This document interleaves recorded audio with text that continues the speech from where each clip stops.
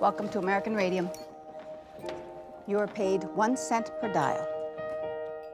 Your work suffers, Miss Cavallo. The eight looks like a fat toddler. This month's top painter, Josephine Cavallo. Will you help me practice my feeling spaces?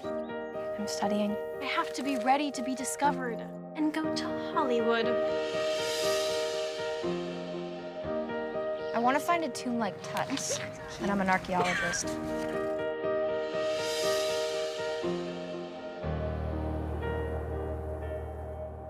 Jo, will you be ready in five minutes? Jo?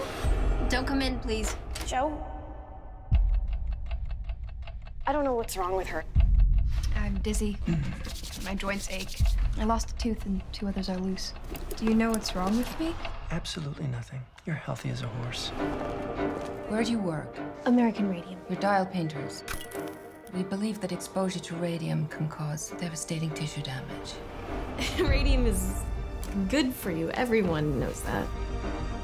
What does this mean for us? We take American Radium down. There's a doctor that can test if your bones are radioactive. Bessie, you sound crazy. I'm not losing my job over this.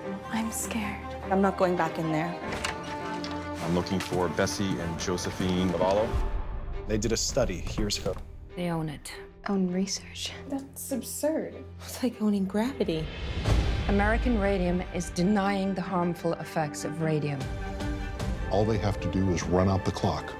They could drag this out for years. We don't have years.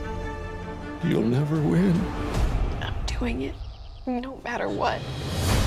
You swear to tell the truth, the whole truth, and nothing but the truth? I do.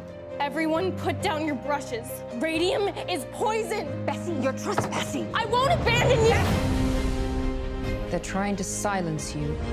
They must be stopped. Really think you can beat American Radium? I am going to make American Radium pay for what they've done.